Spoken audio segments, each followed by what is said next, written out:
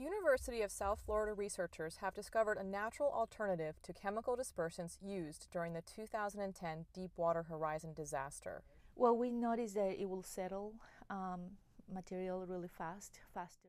Dr. Norma Alcantar, an associate professor of chemical engineering at USF, has proven her theory that the mucilage, or inside of a prickly pear cactus pad, can remove heavy metals from water. Every time I try this material, it always surprises me.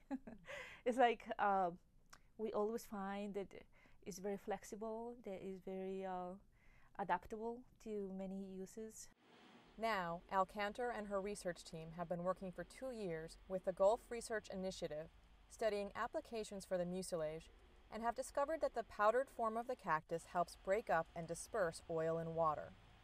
The prickly pear cactus grows in the wild and looks similar to this one. The mucilage from the pads or leaves can be processed into powdered form and used as a water purifier or a natural oil dispersant. The mucilage will actually trap these particles and make them to separate. It's, it's not only faster, but it's also more efficient. It coagulates all the sediments, make them heavier, and then through gravity they will separate faster. This is the pad.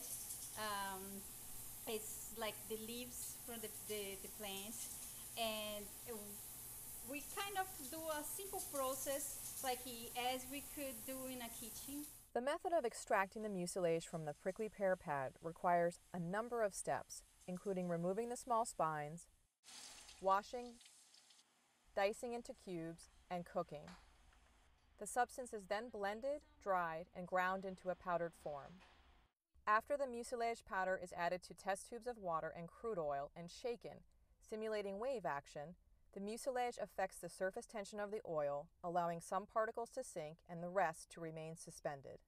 I think the microorganisms will break them down into simple sugars that any, any other organism will be able to digest.